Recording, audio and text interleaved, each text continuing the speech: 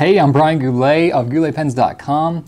And you know, there's just not that many people these days that grew up around fountain pens, which means that if you're interested in learning about them, you don't even know how much you don't know until you learn it from somebody like me. So, the reason that I shoot videos like this is because I really want to share my knowledge with you new users out there. I was a new user, and we've all been there, okay? So there's no judgment here.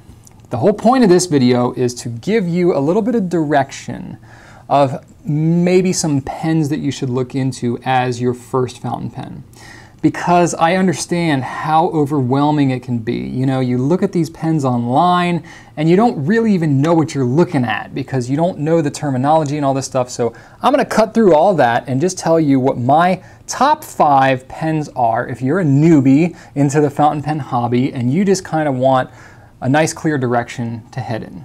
So the first pen that I want to recommend is the Pilot Metropolitan.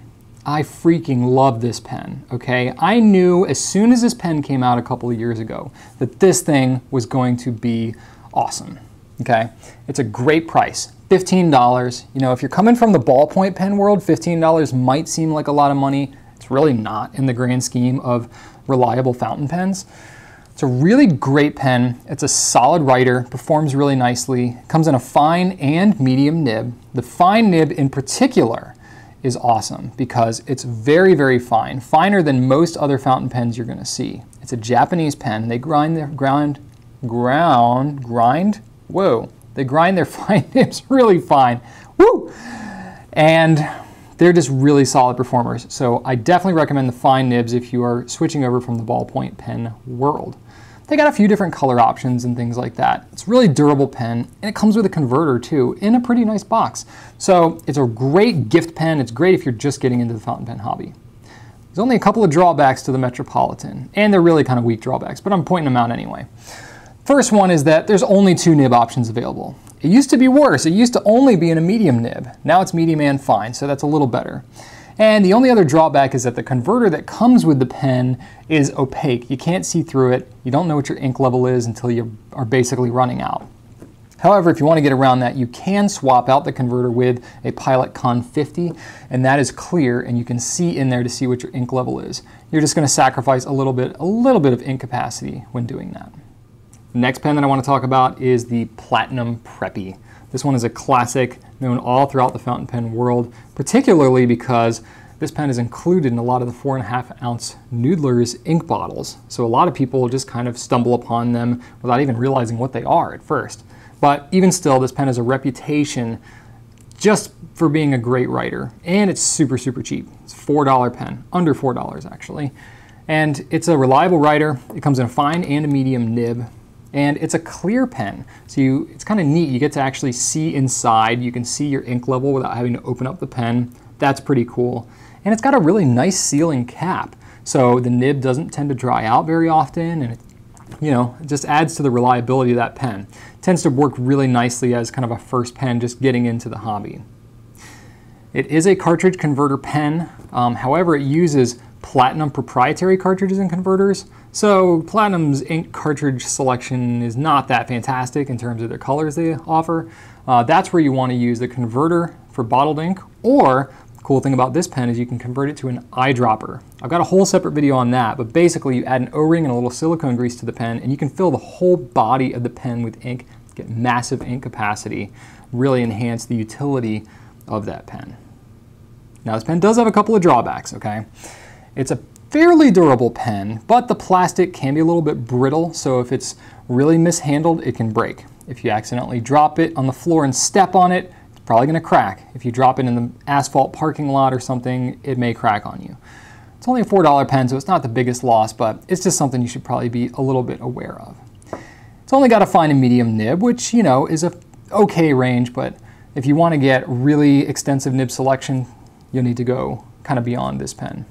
And then the last thing is that, you know, because the pen is so inexpensive, the converter to make uh, the pen usable for bottled ink actually costs more than the pen itself. You know, that's just one thing that some people just have a hard time with. One pen that's really kind of uh, underrated in the fountain pen world is actually the Pilot Varsity. The Varsity is really kind of designed as like a student pen, a school pen. Um, it's a disposable fountain pen. So the whole situation with the Varsity is it's a fountain pen that comes preloaded with ink in the pen.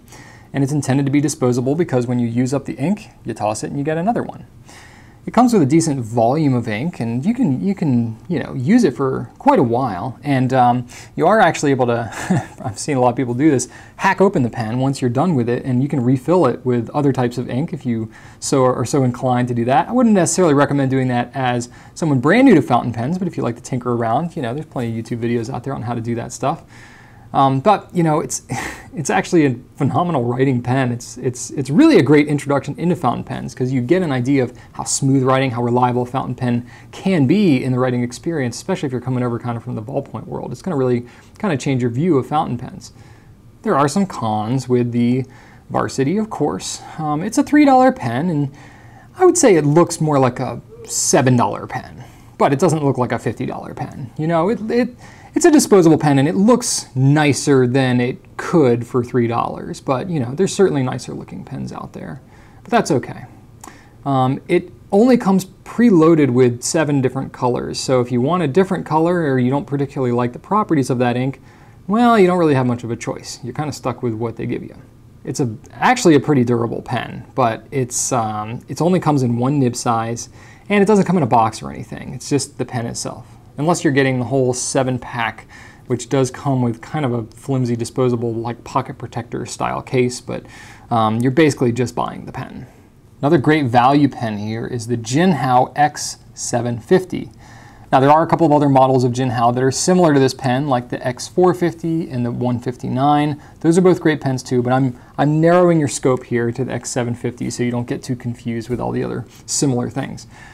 X750 is great. It's an under, under a $10 pen, which is really pretty phenomenal deal. It's heavy, it's durable, and it's a pretty reliable writer.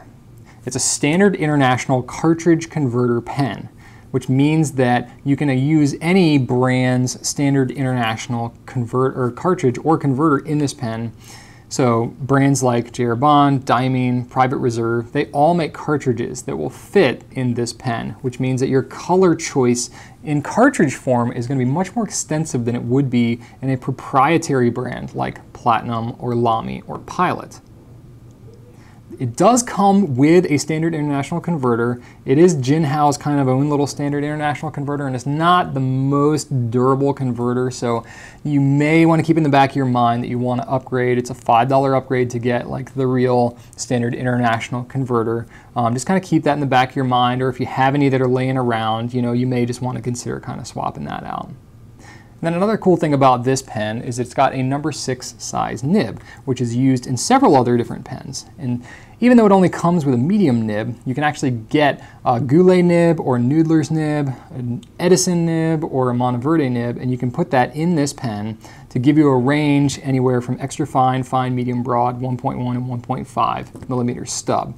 So it's an extra little thing that you got to get, but it can really extend the utility of this particular pen. So the Jinhao's got a couple of cons along with it. The converter that comes with it is not amazing, so you may want to consider upgrading that. It is kind of limited in its nib offerings. You can get other nibs for it, but as far as what actually comes on the pen, eh, it's somewhat limited. The pen's really heavy, so some people may have a hard time kind of adjusting to that, especially if you're writing for long writing sessions at a time. And then the last thing is that, you know, it's got limited color options. So it does come in a couple of different things, and some of the colors are actually pretty neat, um, but it really could be a little more extensive. And the last pen that I want to recommend to you is actually the most expensive of the bunch. It is the Lamy Safari. And this is a great pen, solid reputation on this pen. It's the most expensive of the group at nearly $30, and that doesn't come with a converter either. The converter is a $5 add-on. So why is this pen worth so much more? Well, all the other pens that I talked were like super value pens. But this Lamy, man, it's got such a solid following. There's a lot of people that love this pen. And it's got some cool things going on with it. It's really durable. It's what everybody calls a workhorse pen. You know, great daily writer. You carry it around with you. The styling is kind of cool too. Some people really don't like the styling, but other people just absolutely love it. It's a German brand, really distinctive kind of look to the pen. Comes in a lot of different cool and fun color options, and they do limited editions um, usually every year, every couple of years. So there's kind of a backlog of limited editions that are kind of fun to go back and try to collect, or you know they keep new colors coming out every year, and it's it's really kind of exciting to kind of keep up with that. It's got interchangeable nibs, so Lamy's got their own line of nibs that gives you versatility, everything from extra fine, fine, medium, broad, 1.1, 1.5, and 1.9 millimeter stubs, so you're able to get a really diverse range of writing capabilities just with a single pen.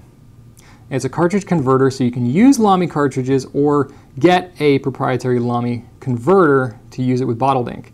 Another cool thing is it's got an ink window so that you can see the level of ink in your pen whether you're using a cartridge or a converter without having to open the pen up. So there aren't a whole ton of cons with the Lamy, but the biggest one would obviously be the price in comparison to these other ones. It seems like a much more expensive pen. You can certainly spend a whole lot more than this, but as a first fountain pen, it is a little bit more of an investment than some of the other ones I've mentioned in this video. However, go start searching online, look at some of the reviews of these pens, and you'll see that a lot of people think that it's really worth it. It does have a cartridge and converter, but it's proprietary, again, just like Pilot and Platinum, so your ink choices in the cartridges with Lamy are not going to be extensive. You're probably going to want to get the converter and use bottled ink because you get really open up your options as far as what your ink choices are. So those are my recommendations for five great pens that you could start out with when you're getting into the fountain pen hobby. It's gonna be pens that you not only enjoy right away, but ones that you can continue to use as you get more into your fountain pen experience, and ones that you hopefully won't really outgrow either. I've got quite an extensive pen collection at this point, and I still enjoy these pens on a regular basis. So if you've got any other recommendations or any questions, I would love to hear from you. You can leave me a comment on YouTube or on Ink Nouveau. And if you like this video and want more like it, feel free to subscribe on YouTube and you'll be notified whenever I put more out. Thanks so much for watching. I appreciate you spending time with me today and write on.